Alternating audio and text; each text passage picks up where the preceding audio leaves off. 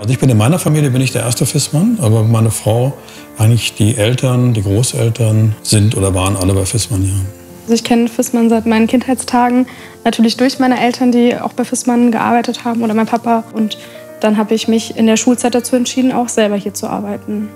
Also für mich passen die ähm, Fissmann-Werte ähm, genauso gut privat auf meine Familie wie auch hier in die Fissmann-Familie. Dass man einfach ehrlich zueinander ist, dass man Feedback gibt, dass man offen miteinander umgeht und Gemeinschaft hat. Das ist ja genau das, was man irgendwo zu Hause äh, genauso auch leben möchte. Also ich glaube, dass Fissmann auch ja geprägt ist, mit vielen Kollegen ein ganzes Arbeitsleben zu verbringen. Ne? Also sich da auch über Generationsgrenzen hinweg eben auch auszutauschen, das bereichert einfach.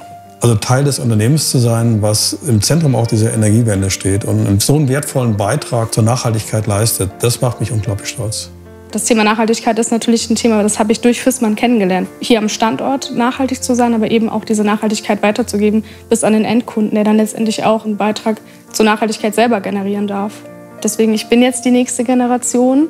Ich bin stolz darauf, dass wir daran selber arbeiten dürfen.